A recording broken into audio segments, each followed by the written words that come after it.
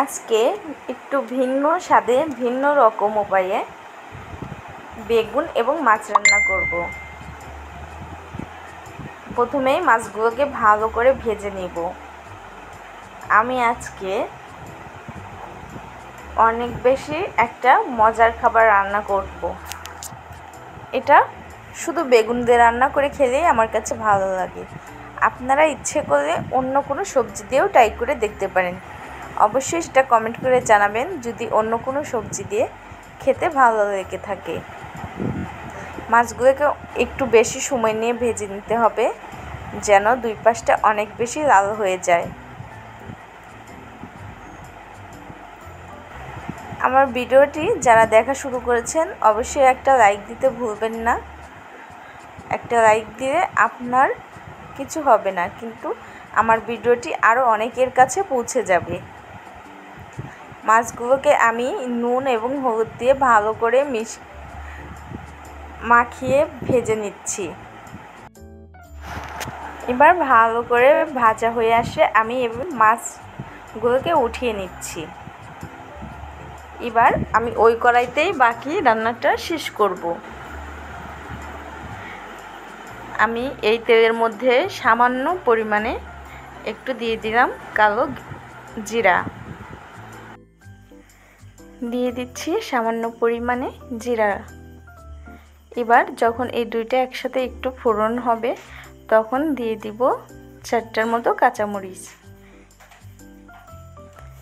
এবার আমি এখানে কেটে ধুয়ে রাখা বেগুনগুলো দিয়ে দিব।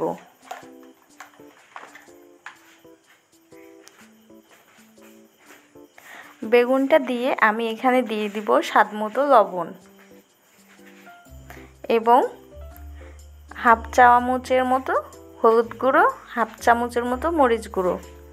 ব্যাস, আজকে আমি আদা, রসুন বাটা, পেঁয়াজ ছাড়াই এই সবজিটা রান্না করব। কিন্তু এই সবজিটা খেতে অনেক বেশি মজা লাগে। আপনারা অবশ্যই একবার বাসায় ট্রাই করে দেখবেন। এবার আমি এই বেগুনগুলোকে অনেকক্ষণ ধরে ভেজে নিব। অনেকক্ষণ ধরে ভেজে নিলে তবেই এই রেসিপিটি ভালো লাগবে।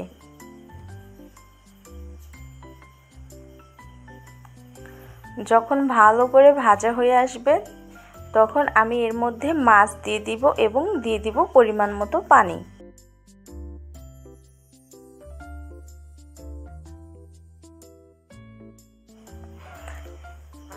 এই সামান্য উপকরণ দিয়েও অনেক বেশি মজার রান্না করা যায়।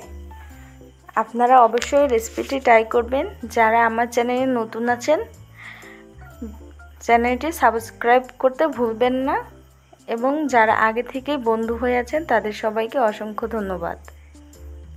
এবার পানি দিয়ে আমি একটু, অল্প একটু সময় রান্না করে নিব। কারণ বেগুনটা এমনি অলরেডি অনেকটা সিদ্ধ হয়ে এসেছে। রেসিপিটি কেমন হয়েছে অবশ্যই কমেন্ট করে জানাবেন। আর এভাবে কেউ খেয়েছেন কিনা সেটাও কমেন্ট করে জানাবেন। আমার ভিডিওটি ভালো লাগলে লাইক কমেন্ট সাবস্ক্রাইব করে পাশেই থাকবেন। ধন্যবাদ সবাইকে ভিডিওটি দেখার জন্য।